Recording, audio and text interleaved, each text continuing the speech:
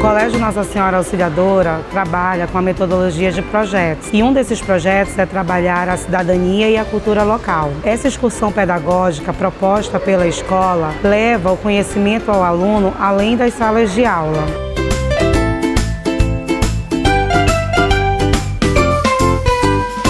Quando você entra aqui, você relembra várias coisas aqui, você pode conhecer várias coisas também. Tipo o rio, que a gente ainda pouco viu, que a gente passou por ali. E um pouco sobre a história de cada uma pessoa que veio aqui.